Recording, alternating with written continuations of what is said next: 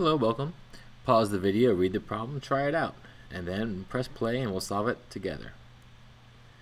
Okay, so I wrote this problem a while ago uh, when I was actually looking at Chipotle's online menu and this claim that you can order over 65,000 menu combinations. And here are the options, and there's some special notes down here. But my plan for this video, I'm going to solve this problem fairly quickly. And then I'm going to spend the rest of the time talking about why that works and also so, what are some common errors. So for the first minute or so, let's talk about how to solve it. Then we'll kind of step back and explain why that makes sense and why some other techniques might be a little bit different or might lead you to perhaps an answer that's incorrect.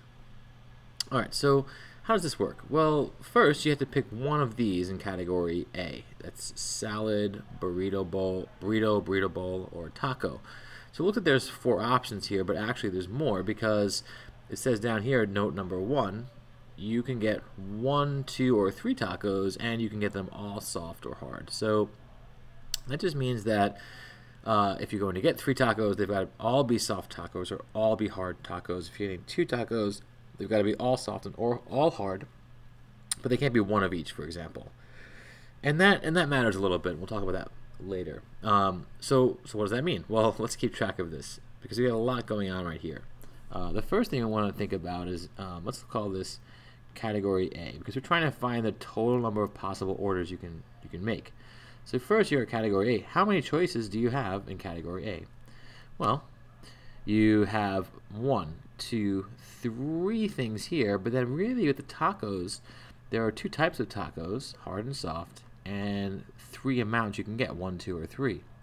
So it's actually two times three possibilities, right? You can think about a little tree diagram. You got a hard taco and a soft taco, and then for each of those you can get one, two, or three tacos after that. So that's actually six additional combinations plus three. Okay, so that means our first choice, category A, there are actually nine possibilities. And actually, let me just kind of write this the other way. I think I would like that better. So um, I'll the category underneath. For category A, there are actually nine choices. Okay, then we go to category B. All right, here, there's three choices. White rice, brown rice, or no rice. You have to pick one of those. Okay.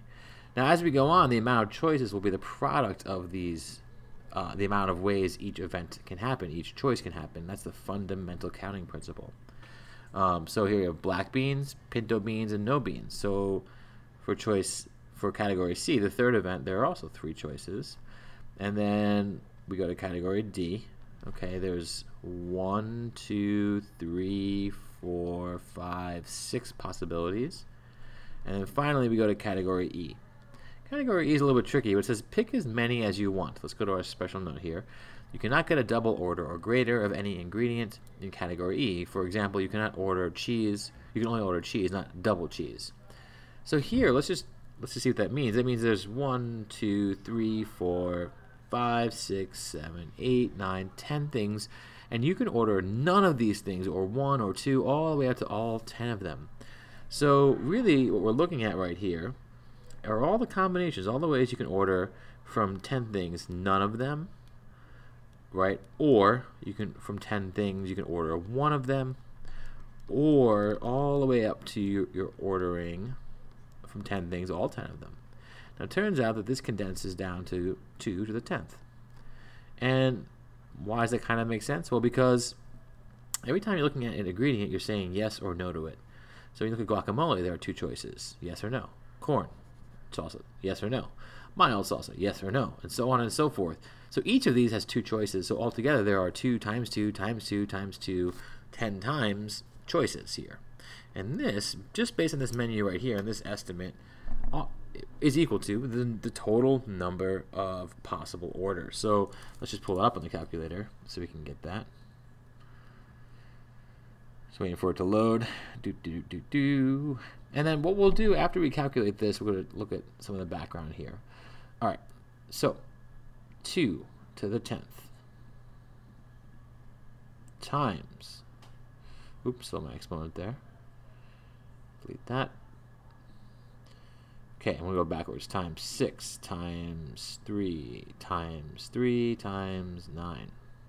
497,664. So 497,000 orders 664 orders. So this is quite larger than 65,000. They've definitely undercounted.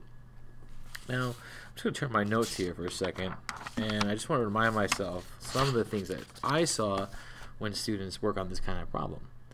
Um, so, so let's just think about why we're able just to, to go back here to multiply all this stuff. And I'm not going to draw the whole tree, obviously, that would have a lot of branches, over 497,000 branches. We're not going to do that.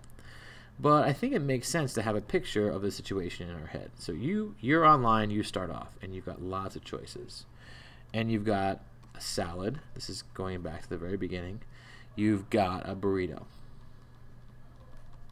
You've got a burrito bowl. Bear with me here. You, and then you've got some other options. You can get, I'll write this way, one hard taco. You can get one soft taco. You can get two hard tacos. You can get two soft tacos. You can get three hard tacos.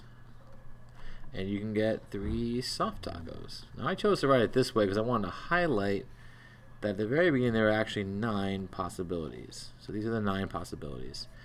Now the tree will grow for each of these choices. There's going to be a whole new set of choices, but I'm only going to highlight one of these branches. Let's say three soft tacos. So if, from that branch right there, think about what is next. In category B, just got my notes here.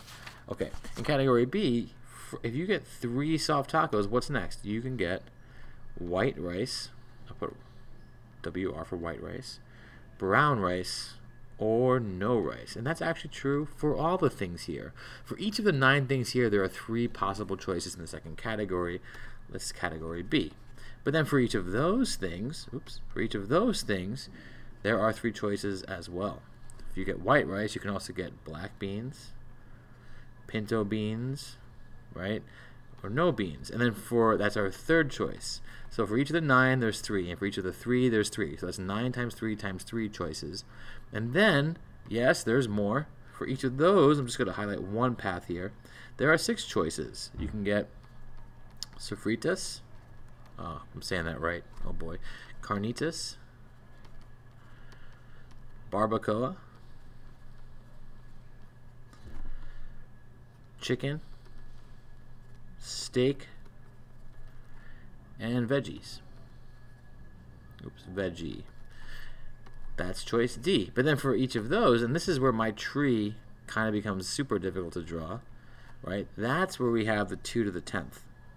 Because there's a whole list of possibilities here about what you can order next. But the idea is to multiply all these things out to get the total possibilities. Now, what I wanted to point out is that, um, you know, it matters if you can order different combinations of tacos back here because what starts to happen, let me just extend this.